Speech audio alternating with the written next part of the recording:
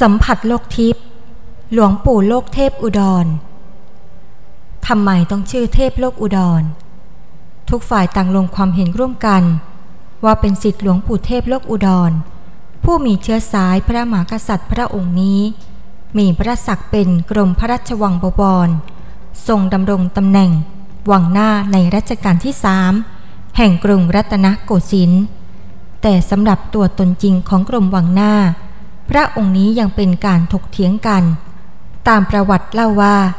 สมเด็จวังหน้าองค์นี้ทรงเป็นที่เกรงขามของบรรดาข้าราชบริพารยิ่งนัก และพระองค์มีลักษณะที่แตกต่างไปจากบุคคลทั่วไปอย่างหนึ่ง คือพระองค์มีพระชิวหาดำทั้งนี้ก็เพราะพระองค์โปรดการปลูกว่านสมุนไพรต่างๆ และทรงโปรดการชิมรสหวานต่างๆ ด้วยพลักษณะเฉพาะตัวนั้น จึงได้มีการขนานพระนามพระองค์ว่า องค์ลิ้นดำ สมเด็จวังหน้าพระองค์นี้ นอกจากจะสนใจเรื่องการปลูกว่านสมุนไพรต่างๆแล้ว พระองค์ยังสนพระทัยในเรื่องของวิชาอาคมไสยศาสตร์ สรุปเลยค่ะ พระองค์ท่านก็ได้เรียนกับครูต่างๆ ที่ว่าเก่งก็แล้วเรียนไปหมด แต่ท่านก็ยังไม่พอใจ เพราะว่ามีแค่เสกน้ำมนต์แล้วก็ไล่ผี ท่านเลยได้ตั้งปณิธานว่า ครั้นตัดสินพระไทยได้เช่นนั้นแล้ว พระองค์ก็ส่งจุดธูปเก้าดอก แล้วส่งตั้งจิตอธิษฐานต่อสิ่งศักดิ์สิทธิ์ว่า ถ้าไม่เจออาจารย์ที่จะสอนวิชา ที่พระองค์ท่านต้องการได้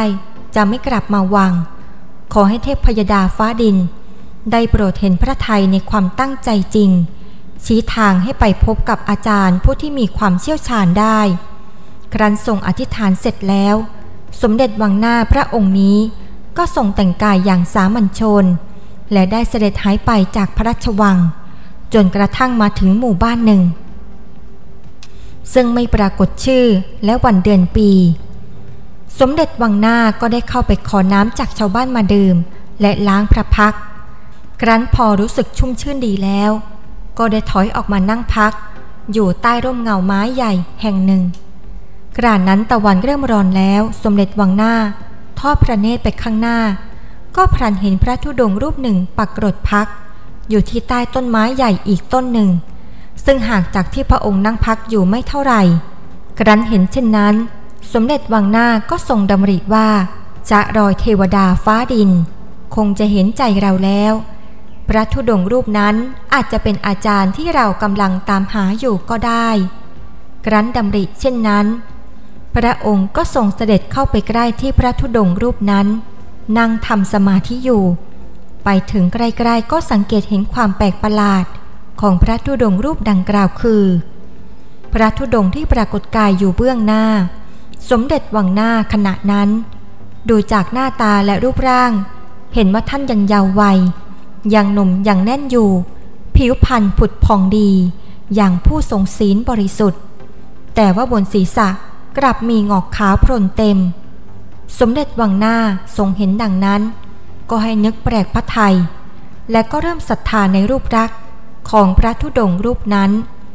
พระองค์จึงนั่งลงนมัสการ ขณะนั้นพระธุดงผู้มีหน้าตาและร่างกายหนุ่ม แต่มีศีรษะขาวโพลนกำลังนั่งสมาธิหลับตานิ่ง แต่ว่าท่านรู้ว่ามีคนมาก้มอยู่เบื้องหน้า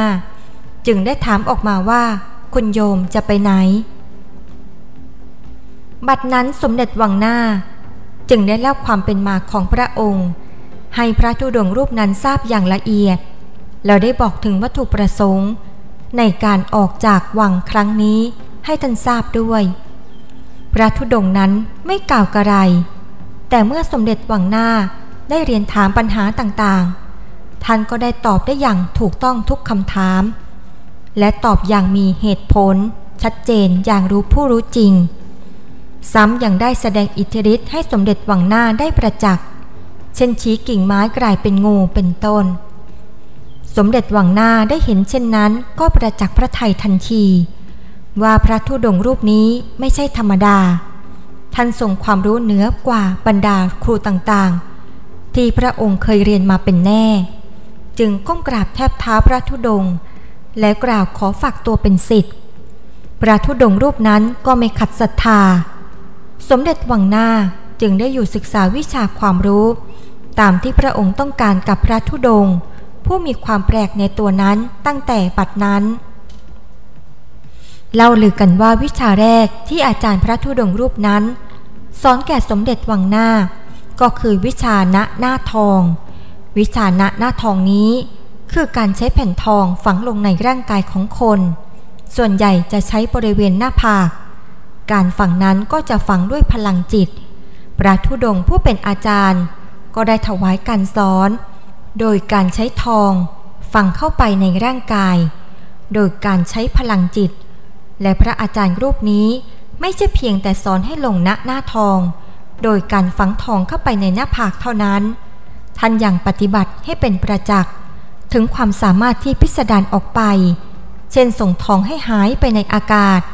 แล้วไปติดอยู่ตามต้นไม้หรือที่ต่างๆได้ สมเด็จวังหน้าทรงตั้งพระไทยศึกษาวิชานี้เป็นอย่างดี แต่วิชานี้ก็ไม่ใช่เรียนกันง่ายนะ กว่าจะสำเร็จก็ต้องใช้เวลานานพอสมควร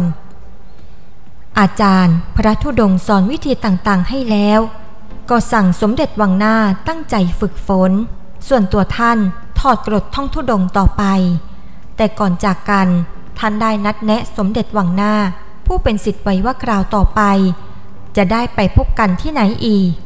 ครันพระอาจารย์พระธุดงจากไปแล้ว สมเด็จวังหน้าก็ตั้งพระไทยฝึกวิชาลงณหน้าทองนั้นต่อไป จนชำนาญดีแล้ว กรันเมื่อถึงหมายกำหนดที่อาจารย์พระธุดงนัดให้ไปเจอ พระองค์ก็เดินทางไปตามที่นัดหมายเล่ากันว่า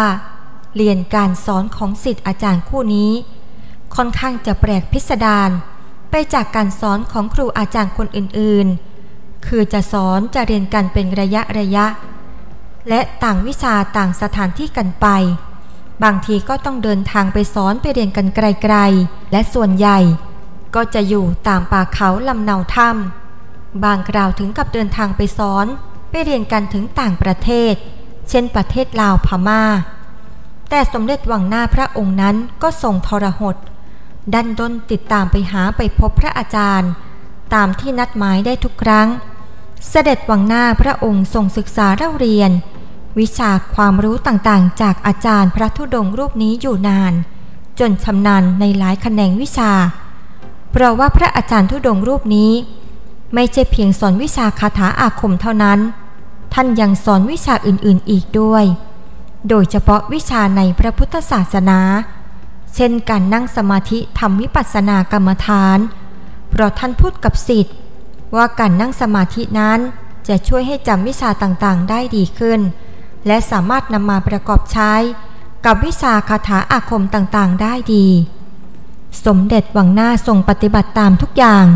ครั้นศึกษาวิชาคาถาอาคม และการทำสมาธิทำกรรมฐานเพียงพอแล้ว วันหนึ่งอาจารย์ทุดง ก็ได้บอกกับสมเด็จวังหน้าผู้เป็นสิทธิ์ว่า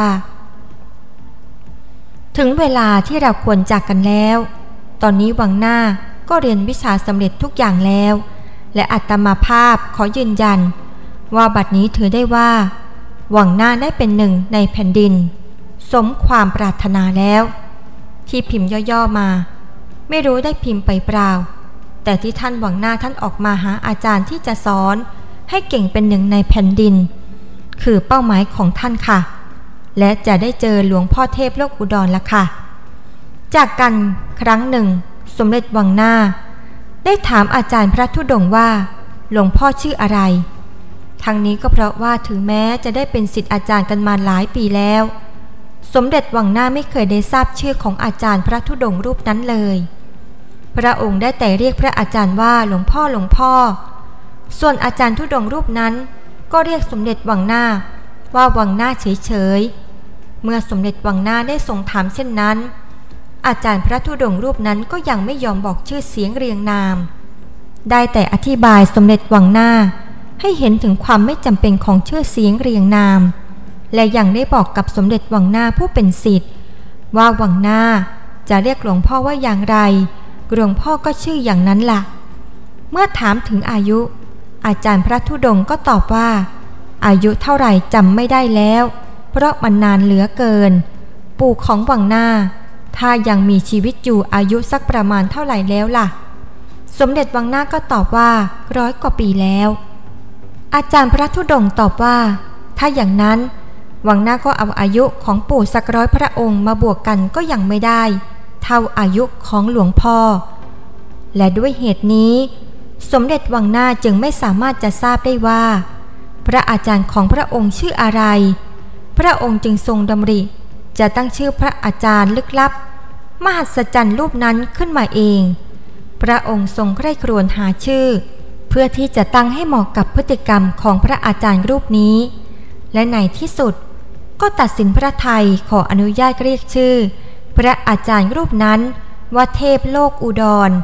เพราะพระองค์ทรงเห็นว่าพระองค์ไปไหนมาไหนรวดเร็ว ดังปรารถนาเหมือนเทพเจ้า และทรงฤทธิ์อภิญญาเหนือโลก อาจารย์พระธุดงก็ไม่ว่าอะไรได้แต่ยิ้มยิ้ม ตั้งแต่บัดนั้นมาพระธุดง ผู้มีความพิสดารในรูปลักษณะรูปนี้จึงได้ชื่อว่า เทพโลกอุดร แต่ในเวลาต่อมาไม่ทราบว่าใคร ได้ไปต่อนำให้ท่านว่า พระครูโลกเทพอุดร ตามประวัติ ที่พอสืบหาได้ก็เห็นว่า ท่านมีนามว่าหลวงปู่โลกเทพอุดร เท่านั้นไม่มีคำว่าพระครูนำหน้าคาถาบูชาบรมครูพระเทพโลกอุดร ต้องตั้งนโมสามจบก่อนค่ะนโมตัสสะภะคะวะโต อะระหะโต สัมมาสัมพุทธัสสะนะโมตัสสะภะคะวะโต อะระหะโต สัมมาสัมพุทธัสสะ นะโมตัสสะภะคะวะโต อะระหะโต สัมมาสัมพุทธัสสะ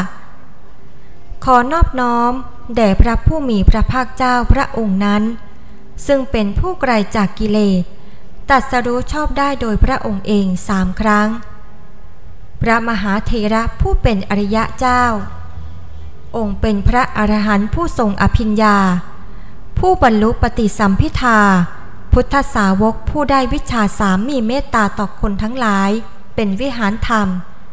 พระมหาเถระผู้ชำนาญในการสั่งสอนดำรงชีวิตอมตะ ยินดีในการอยู่ป่าคือถ้ำพระมหาเถระองค์นั้นมีนามว่าโลกอุดร อันพวกเราบูชาอย่างยิ่ง เพราะอาศัยในคุณธรรมในองค์ท่าน ชักชวนพวกเราประกอบกุศลทั้งหลาย ท่านให้ความรักพวกเราเหมือนบุตร แสดงมรรคและผลเท่านั้น ประทัดของท่านส่องประกายดังเพชร พระมหาเถระอุบัติขึ้นในโลก และทำประโยชน์โดยส่วนเดียวด้วย นับเป็นบุญลาภของพวกเราอันหาประมาณมิได้ พวกเราจะกระทำตามคำสั่งสอนของท่าน อันเป็นยอดสุภาษิตอันหนึ่งพระมหาเถระนามว่าโลกอุดร เป็นที่เคารพบูชาของเทวดาและมนุษย์ทั้งหลาย ข้าพเจ้าจะกราบไหว้บูชาคุณของพระอุตระตลอดการทุกเมื่อ โดยอนุภาพแห่งพระมหาเถระ ขอความสุขสวัสดีจงมีแก่ข้าพเจ้าทุกเมื่อเทิน ตั้งจิตอธิษฐานตามความปรารถนา พระคาถาขอพบบรมครูพระเทพโลกอุดร ต้องตั้งนโมสามจบ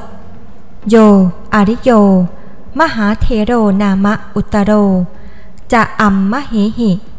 ปูชิตา เอเตนะชยะมังคลัง ท่องวันละสามจบก่อนนอนเป็นเวลา 11 วันติดต่อกัน เมื่อครบแล้ว